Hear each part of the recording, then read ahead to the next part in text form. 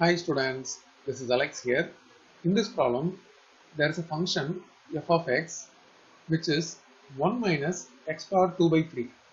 We have to show f of minus 1 equal to f of 1 but there is no number c in open interval minus 1 comma 1 such that f dash of c equal to 0. This is the first part. So let's find f of minus 1. When we find f of minus 1, we have to substitute in place of x as minus 1. Then this can be rewritten as minus 1 whole square then whole power 1 by 3. This 2 by 3 I wrote it as 2 into 1 by 3.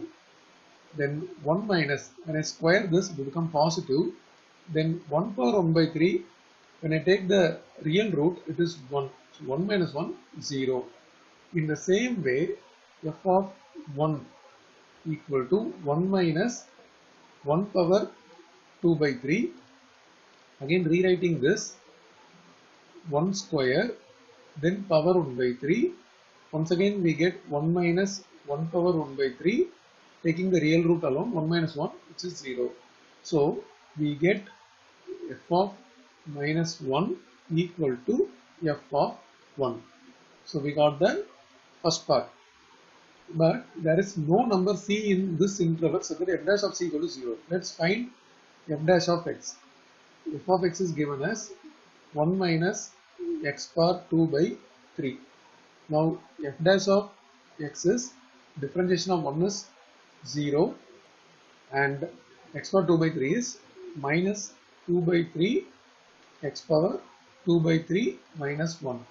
By simplifying this minus 2 by 3 x power minus 1 by 3 again further rearranging we get f dash of x is equal to minus 2 by 3 x power 1 by 3.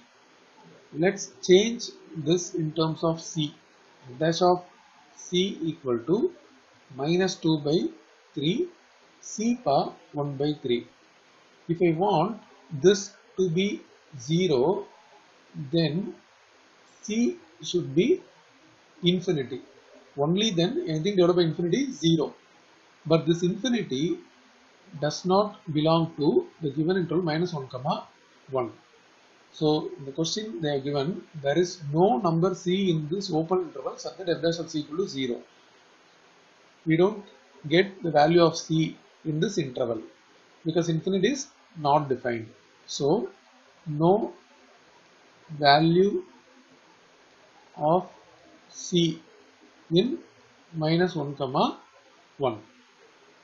But as per the Rolle's theorem, we have to get a value of c in the interval. But here we notice that f dash of x is minus 2 by 3 x power 1 by 3. And this does not exist when x is 0. So this we have to say since f dash of x is minus 2 by 3 into x power 1 by 3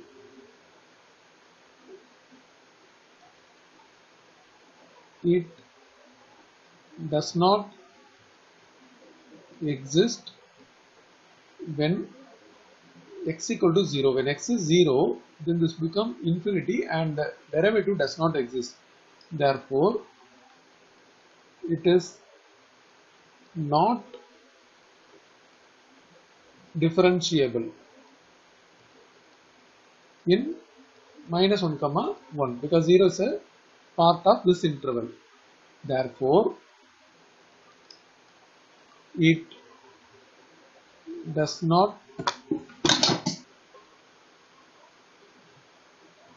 contradict Rolle's theorem because when there is no value of c in the given interval, it has to contradict the Rolle's theorem, but it is already not differentiable. So, it does not contradict the Rolle's theorem. So as per the question, f of x is given, we prove this part and we try to find the c in this interval, we are not able to find. So it does not satisfy the Rolle's theorem, but when there is no value of c available in this interval, we find the function itself not differentiable in the given interval minus 1 comma 1. So hence it does not contradict the Rolle's theorem.